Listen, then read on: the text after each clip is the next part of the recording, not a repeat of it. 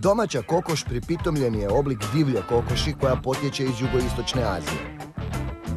Pripada porodici fazanki iz reda kokoški.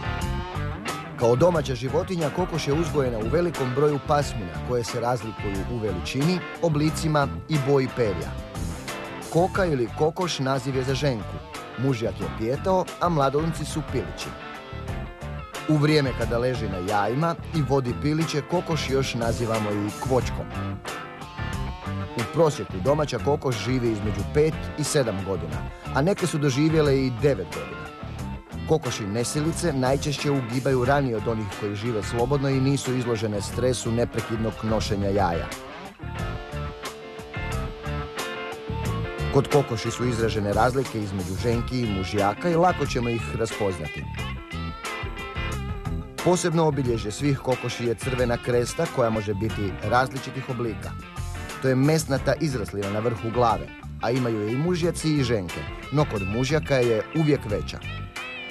Mužjaka možemo prepoznati i po repu koji je u obliku srpa.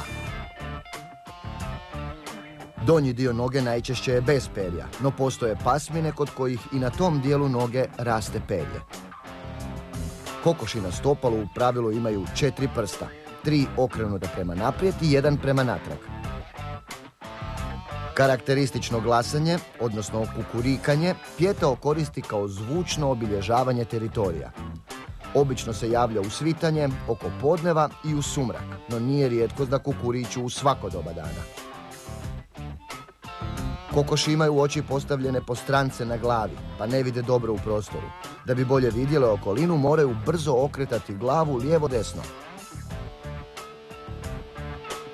U prirodi kokoši jedu različite sjemenke, gliste ili kukce. Dok traže hranu, rado se zadržavaju u okolišu gdje postoji mogućnost skrivanja. Kokoši mogu godišnje snijeti do 300 jaja ako se sneseno jaje svaki dan ukloni.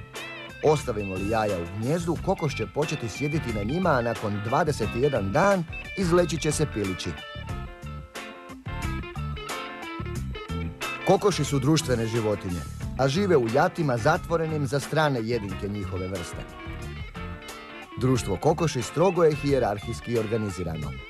Na čelu je pjetao, a svaka kokoš ima točno određeno mjesto u hijerarhijskoj ljestvici.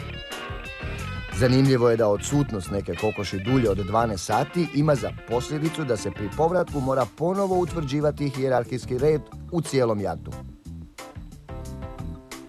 To znači i povećan nemir u jatu i porast sukoba, Takva društvena organizacija podrazumijeva da se u jednom jatu sve jedinke međusobno individualno poznaju. A to ujedno znači i da je broj članova u jatu ograničen. Radi sigurnosti, taj broj, uključujući i pijetla, ne bi trebao prijeći deset.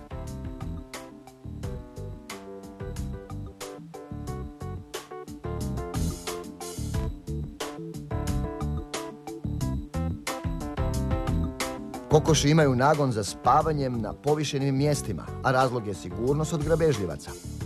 Kokoš kojoj to nije omogućeno osjeća se nesigurno i nemirna je. Imaju li dobro sagrađen kokošinjac, uvijek će nastojati spavati na najvišem mjestu.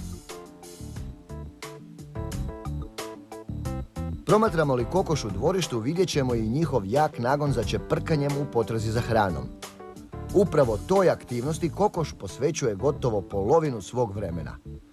U kokošinja će se povući kada se poželi odmoriti ili kada se počne spuštati sumrak.